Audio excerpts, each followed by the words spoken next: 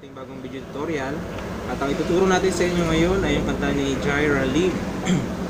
Ah, yung Jaira or Jaira Lim, Basta sigurado ako Lim yan. so, kanta na Buko. Okay, so shoutout muna sa ah, mga nag-request nito. Ah, kay Rafael Datu, kay Maurice Bacomo, Jasmine Datu, Cyril Jaunite, Jairine Valdelon, Valdelion, James Bryan. O sa mga shoutout natin, si PL Batok, DJ Kali, Ivan Mendez, Lawrence Place, Daryl Alves, Ken Ken Resilio, Teres Caparas, John Kenneth Arenas, kay, at kay Patrick Montero. Okay, so dako agad tayo sa kung paano ito tutugtugin. Sa verse muna tayo.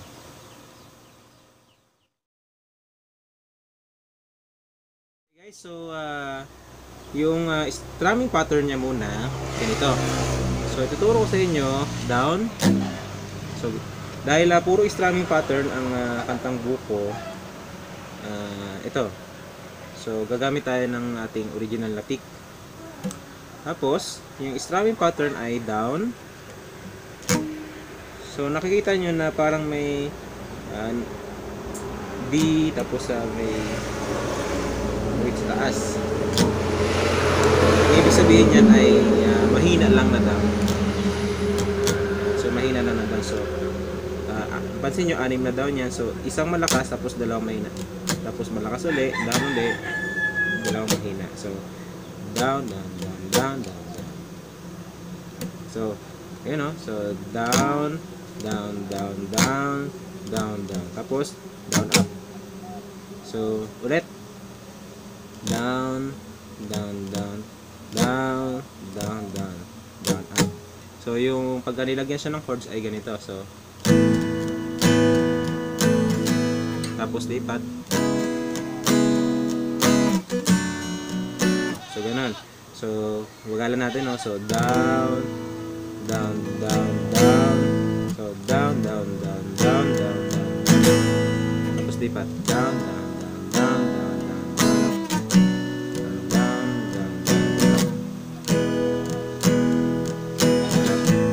so ganun. Ayan, so gets nyo na. Ganun lang siya. so, ano naman yung mga chords ng verse? Ang mga chords ng verse ay A sustain 2. Ang A sustain 2 ay para siyang A, pero tinanggalan niya siya ng ah, isa. So, dito sa ah, dito sa fifth, uh, fourth string at third string. So yan, A sustain 2. Sustain 2. Tapos uh, C sharp minor 7. Ang C sharp minor 7 ay ganito. Uh, as a fourth fret, naka bar chords ka dyan. Tapos ay uh, second string at fourth string. And then B minor 7. Tapos E. So, four times siya yung gagawin. So, naal... Na...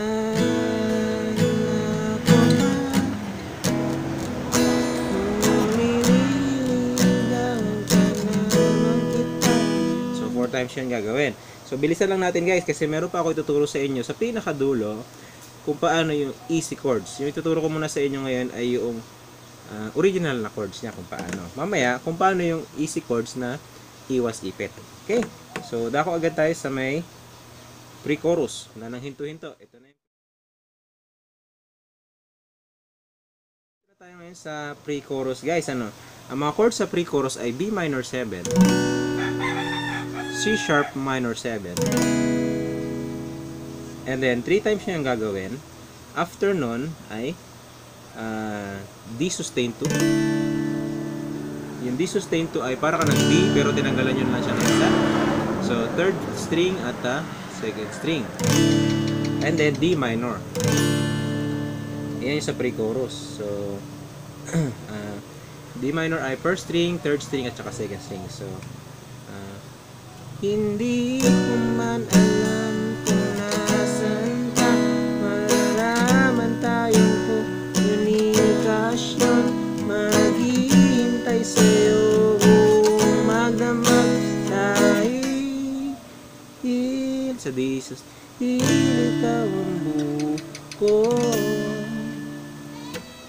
so yan na yung ating pre-chorus yung normal chords okay punta agad tayo doon sa may ah, chorus niya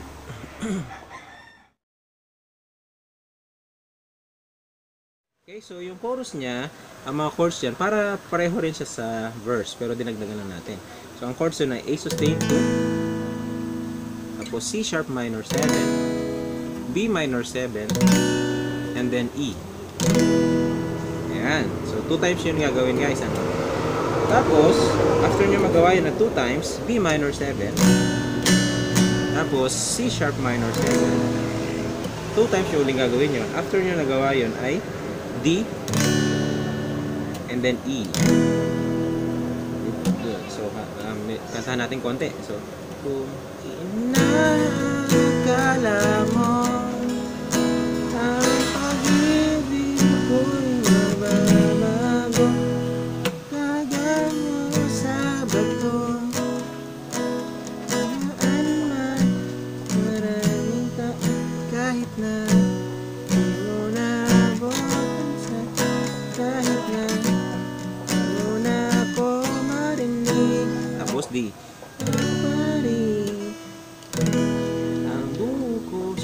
pattern na yan ay ah, forever nyo nang gagawin sa buong kanta. No, gagawin nyo yun sa buong kanta guys. Okay so yan yung buong ah, kantang buko na normal na chords. Yung may mga bar chords. After nyan tuturo ko naman sa inyo kung paano ba yung easy chords no, yung easy chords na buko yung walang ipit-ipit.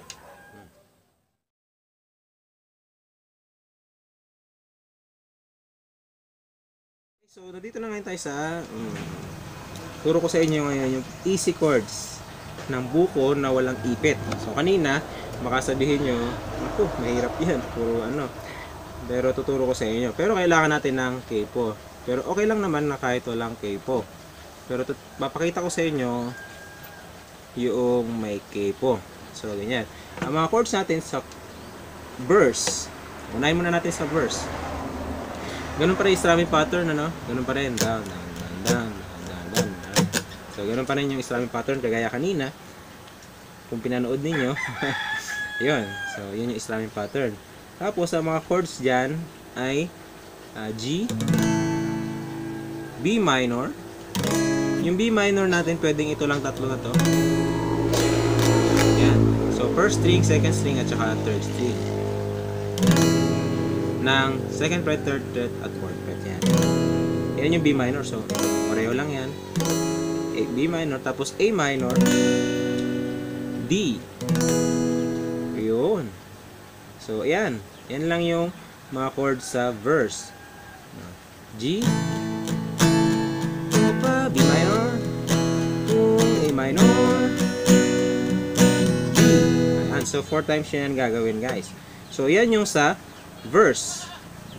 Paano naman yung sa pre-chorus? Ang pre-chorus ng mga chords ay ah, A minor and then B minor. Three times nyo yun gagawin. So, ah, hindi ko man alam kung nasan ka naman hindi ka siya hihintay sa'yo buong magdama tapos si Hindi ikaw ang buhay ko. Yung C minor, ah, ano rin yun, no? Ganyan. C minor, ganyan. So, ganito. So, ang, di ba galing tayong C? Tapos, ang shortcut ng C minor para wala tayong bar chords ay ganito. Di ba kanina B minor, ganyan. Inurong nyo lang siyang isang fret lahat. Yun. So, ayan yung sa pre-chorus. Di ba? Super easy lang. Tapos, sa may chorus naman, wala nang putol-putol. Dito na tayo sa chorus. Ang mga chords dyan ay ah, G, B minor, A minor, D. Two times yung gagawin. Tato, tapos yun. tapos after natin two times A minor kahit na di inabot. B minor. Tapos, two times natin gagawin yan. Hindi, ginawa natin pangalawa. Ikaw si pari. Buko. Tapos, balik na naman tayo sa easy chords na G ulit. Ayun. So, super dali lang, di ba guys? So, ngayon, kung wala naman kayong capo, okay lang naman na tanggalin nyo na lang to. Pero, ang boses nyo ay mababa. So, G, B minor, A minor, D. So, okay din siya na walang capo. Bababaan nyo lang ng konti yung boses nyo. So, ganyan. So, naalala